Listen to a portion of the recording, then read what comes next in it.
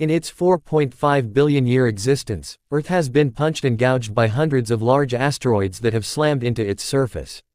At least 190 of these collisions opens in New Tab have left colossal scars that are still visible today. But not every space rock that zips into our planet's atmosphere makes it to the ground. The space rock's super high speeds heat up the gases in the atmosphere, which burn away the space rock which technically becomes a meteor once it meets the atmosphere as it passes through. In most cases, any space rock remnant that makes it through the atmosphere will cause little or no damage if it reaches the ground. For example, a 56-foot wide 17 meters meteor exploded over Chelyabinsk, Russia, in 2013, creating a shock wave that broke windows and caused injuries. However, it did not make a crater, because the meteor didn't really touch down. The largest impact crater on Earth, the Vredefort crater in South Africa, is 99 miles 160 kilometers wide and was likely created about 2 billion years ago, according to NASA's Earth Observatory opens in New Tab.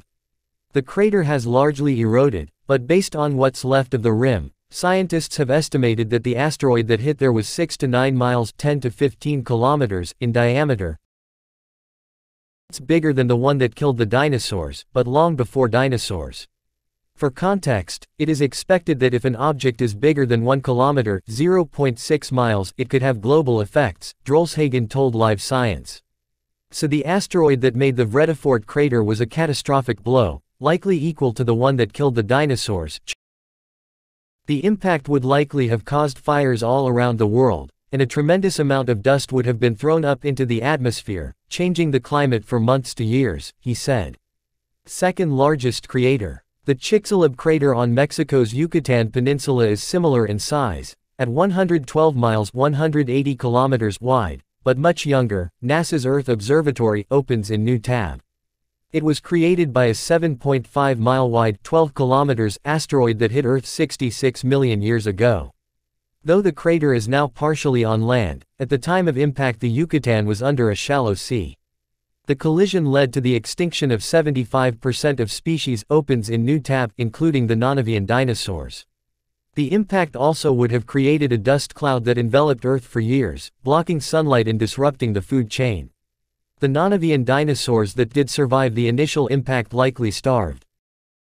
Third largest crater. The Sudbury Basin in Ontario, Canada, ranks third in size and, like Vredefort, is one of the oldest known impact craters on Earth.